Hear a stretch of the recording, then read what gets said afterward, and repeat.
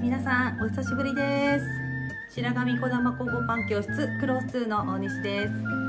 YouTube を撮るとも随分久しぶりとなってしまいましたが本日ですね6月の、レッスン、2回目の土曜レッスンがちょうど終わったところです。今月のレッスンもほぼほぼもう順調に消化してまいりまして来週あと1日を残すのみなんですけれども今日は少し時間がレッスンを取れたので、YouTube 撮ってみようかなと思って撮影しております。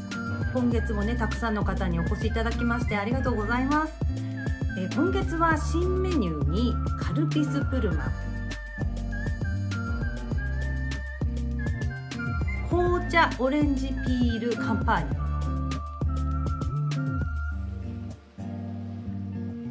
皆さん大変ご好評いただきました。一番レッスンしたのはカルピスプルマンかなという感じだったんですけれどもカルピスの原液をパンの中に入れてですね手ごねしていく感じなんですが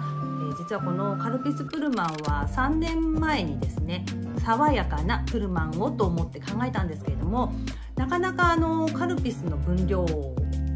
他のこう分量そして発酵時間の兼ね合いが難しくてですね一度ちょっと断念した あのメニューだったんですけれどもなんとかこうゴールデンウィーク中にたくさん結構ほぼ毎日試作をした感じでようやくねいい感じに仕上がったので6月のレッスンに間に合ってよかったなという感じでございます。紅茶オレンジピールカンパーニュもですね香りがとても良くて生徒様にもねとても喜んでいただけました。大変素敵な仕上がりでちょっとハード系のかっこいいカンパーニュが仕上がって、えー、とてもねご自身でこんなものが焼けるなんてすごい感動です。喜んでいただけてよかったかなと思っております。で本日ですねちょうど、えーと、こちらの今写真にあります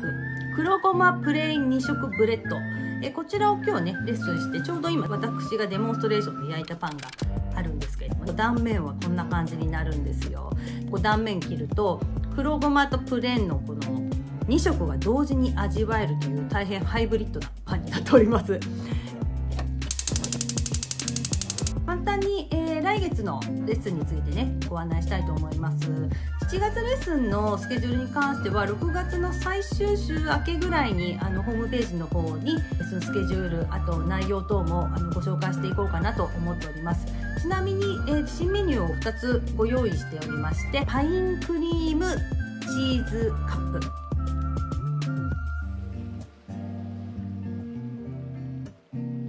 バジルチキンブレッド。こちらです。8月はレッスンお休みいただきますので前倒しで来月新メニューを2つブランクラス入れたいと思いますので過去のねあのメニューで人気だったヨーグルトライ枝豆ベーコンチーズスティックね、夏のこの蒸し暑い暑い時期にクーッとビールとともにね召し上がっていただけたら最高ではないかなと思います。レッスンについての詳しいご案内は教室ホームページの方にこれからアップしたいと思いますのでチェックしてみていただけると大変嬉しいです。プロース2のレッスンではパンを手ごねで作っていただくだけでなく講師の方でデモンストレーションを何かその日の中から1つ行って生徒様に大好評なパンランチ